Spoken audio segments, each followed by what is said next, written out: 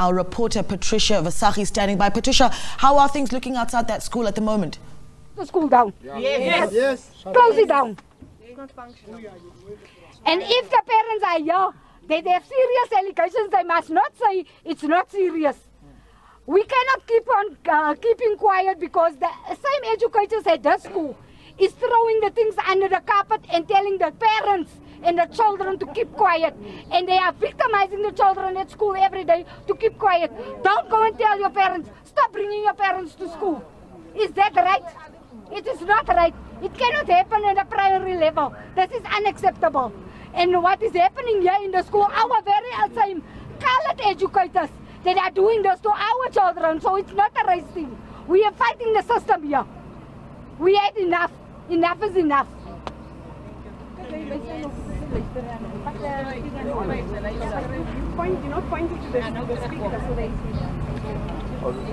And another thing, director. Uh, sorry, I just forgot one thing. The IDSO came last week. Sat in a meeting with them. How can you say in a meeting that our children do not have manners? We must go home and teach our children manners. What is she thinking of our children? Our children at the end of the day. If that is right. And another thing, a, a, a parent came and sat, stand in front of her telling her what is happening with her child was sexually molested and the child was sick with the perpetrator next into the same class without the school doing anything, crying in front of her. You know what she said with the grin on her face? Take it to the district. Yeah. Yeah.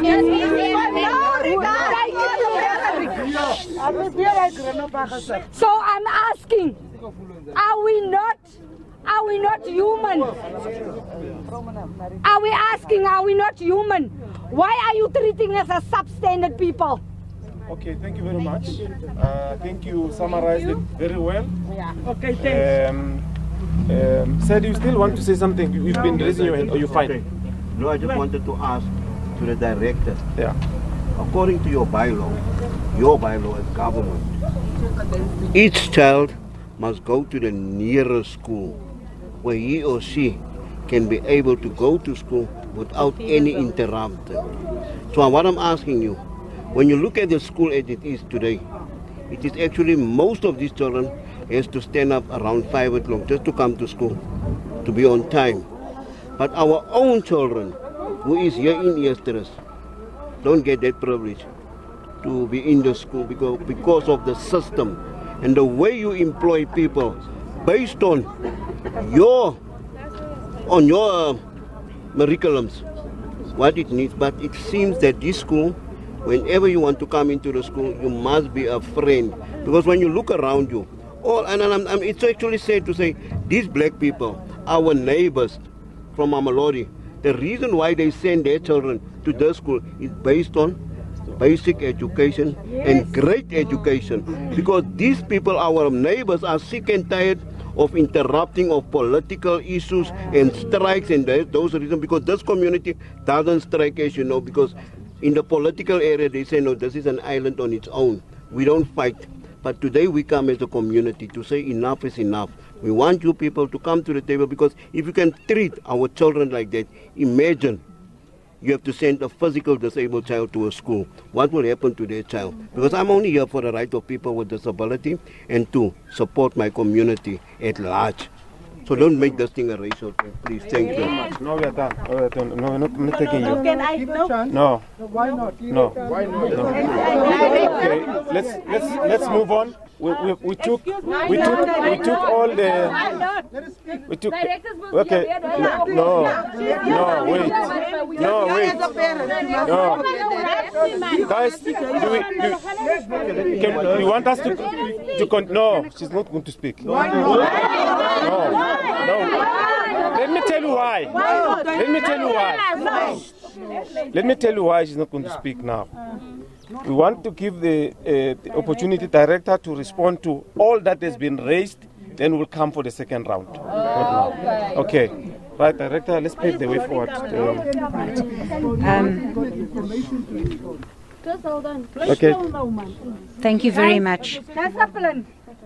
I've, I've recorded the three issues that were raised um, the issue of safety and security of the learners, the quality of learning and teaching in the school, and then, of course, the unlawful appointments. And I'd like to respond to those in terms of the information that was shared with us this morning. Look, to be honest, the closing of school gates, that is something that we are doing across the board, which is in effect for the safety of the learners within the premises of the school. Obviously, if parents are requesting appointments and those are not forthcoming, there we will need to intervene. But the issue of having the school as a closed, safe, secure environment is there, of course, for the safety of learners. I think we will need to engage with parents that have been waiting for appointments that maybe have not been um, confirmed by the school, and we will look into those particular issues there itself. Um, I want to also just indicate that the issue of sexual assault and bullying at the school, we have received those reports, and I have actually commissioned our labour relations unit to come and do a full investigation, going right back to I think uh, some of the issues were in 2019, 2020, where um, I don't know if you're aware, but I wasn't director then, but I'm going to take full responsibility for those, and we will look into all those issues that were raised and do a full investigation bearing in mind that parents have to give consent for us to be able to interview the children. So, parents, assist us in this process so that you can be part of the solution in finding out exactly what the issues were at school. And that is a commitment we do from the department as well. On the issue of, of quality teaching and learning, my, my view is that every teacher that is appointed at this school would have the necessary qualifications. But we will go back. No, the commitment I make this morning is that I will go back and we will personally check each and every teacher that has been appointed at the school, look at their CVs, and ensure that indeed they have the necessary requirements to be serving in this particular school. And if we find that there is something untoward, we will also investigate that. Okay. Then on the issue on unlawful appointments at the school, um, especially when there's no functional SGB, remember that for temporary appointments, the district does those on behalf of the school for post level ones. Where there are issues around recruitment, I think you all understand policy that the SGB recommends and the department appoints. So we will look into those as well. If there are specific posts that you are concerned about, let's share them and um, we will do the investigation. We'll cover those bases as well. Um, I, I, did hear the gentleman talk about children living closest um, should get pref- preference, and indeed, those are policy regulations. However, we know that regulations have their own stipulations. But if there are parents in the immediate community that have not been accommodated at the school, let's bring that to the district as well, and we will look into those as well. I think I've covered most of the issues raised at this point in time. Uh, Steve, you are welcome to add as well.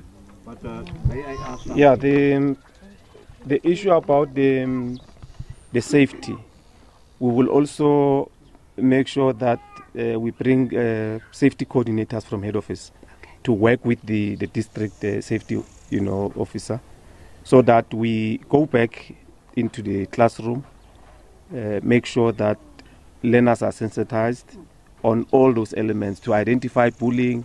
If there's violence, they, they, they need to be reminded on how to report those cases and um, you know assist identification so that they are safe in the in, in the schooling environment. So that process, we commit that it will happen. Uh, as soon as we, we are ready, we should be in a position to announce that that is happening. So what we want to call upon is uh, parents. Uh, we can probably have, if we don't have a, a functional, do we have a functional SGB? Do we have? No, no. No. no. Okay. Okay, it's fine. No, it's fine. The issue of SGB must be resolved, but probably in the meantime, we can have maybe three parents that we can work with closely uh, to make sure that uh, parents are aware of what is happening. I think that uh, communication will assist.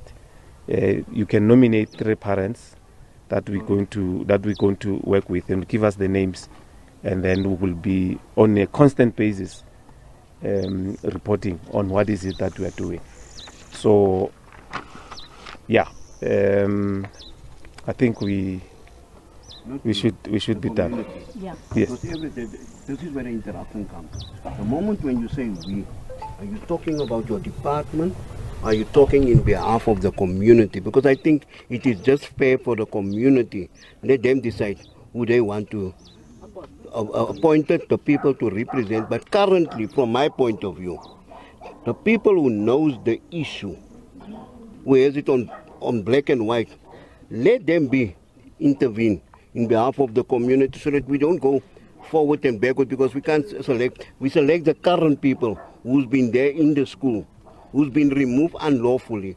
Let them take their lawful space and sort it out. When I, when I, when I was saying we, I said I was talking about we. Yeah.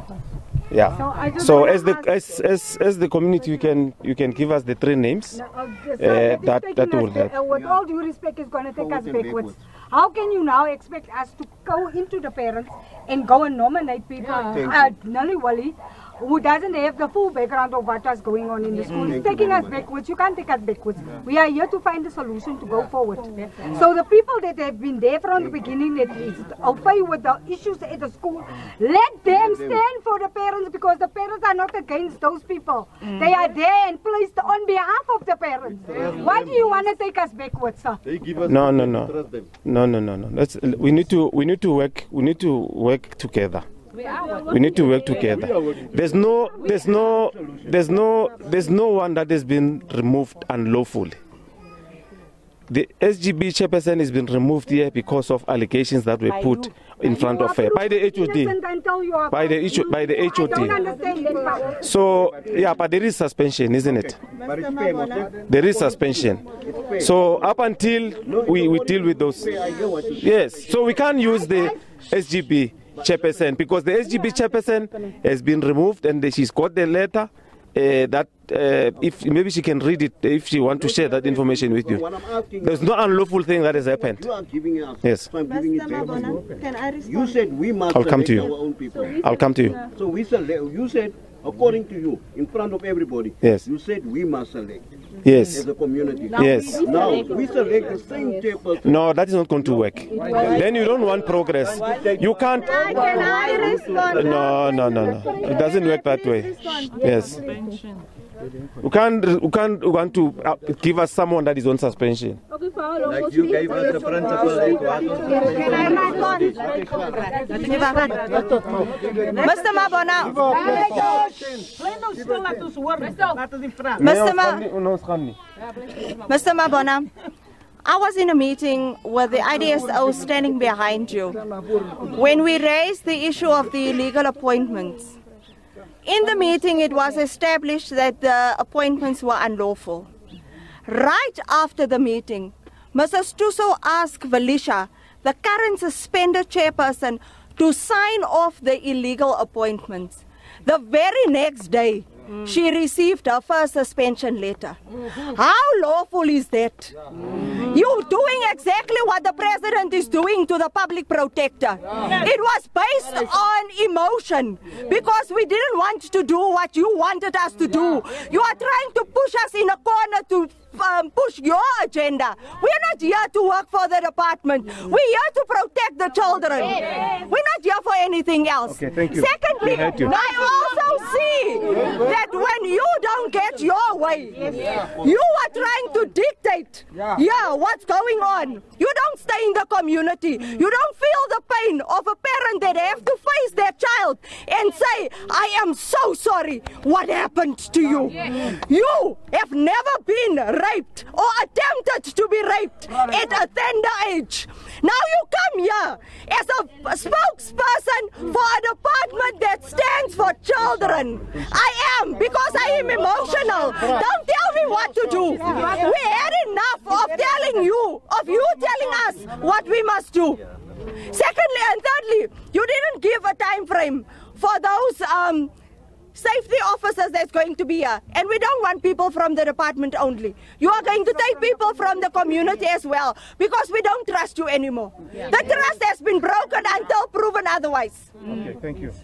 Okay, thanks. Uh, like yes, we have already said. No, wait. No, wait. No, no, wait. I'll give her. I'll give her. Wait. I'll give her. Wait. Wait. No, no, no, no. Wait. Wait, guys. If you want us to continue this meeting, let's let's let's hear each other.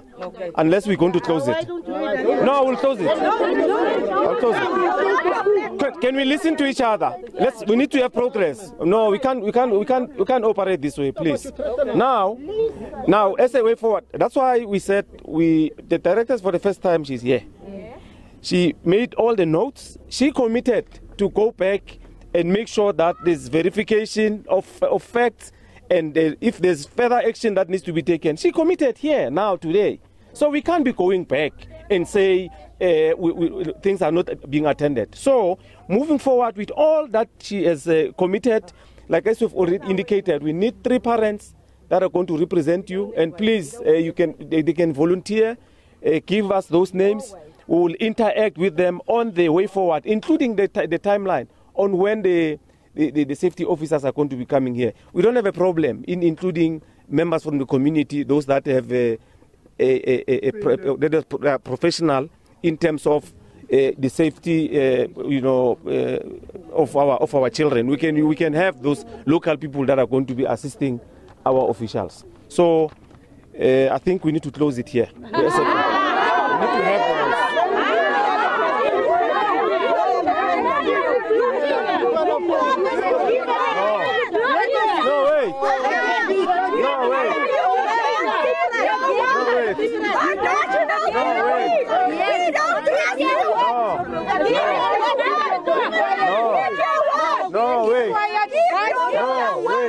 wait, wait, wait, wait, wait, wait. So when you call the let's meeting, have, sir, let's have, I, let's when we have call the meeting, names. sir, listen. When we call the meeting, what was the agreement?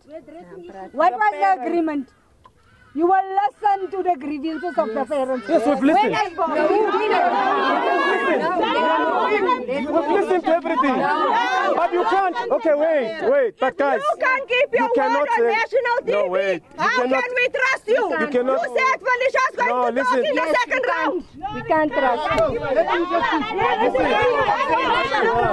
We can't trust.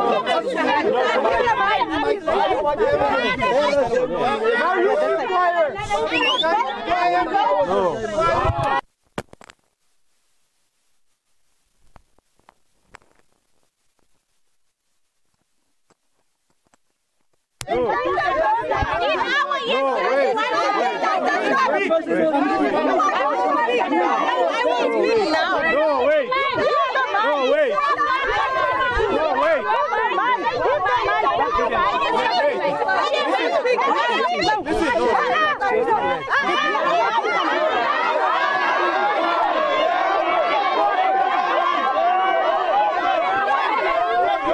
Wait, wait, wait, wait. Wait, I'll give it, wait.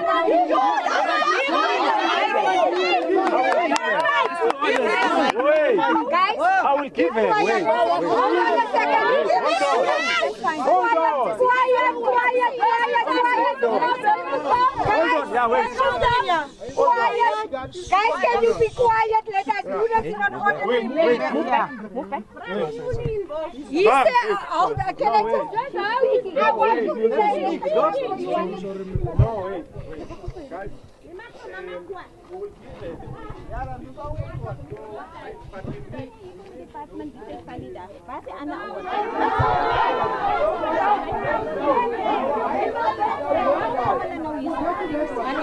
I kind of yeah, that there is our reporter, um, Patricia Vasari, keeping a close eye on things as they develop outside that school there in Eersterust, where uh, parents have continued to uh, raise their issues and concerns about, firstly, the quality of education that the school is giving um, their learners. It is, of course, a primary school, but there also have been complaints around sexual abuse um, of the children at the school. A spokesperson for the Gauteng Department of Education attempting uh, to speak to those parents there um, and hear their concerns and, of course, map out a way forward.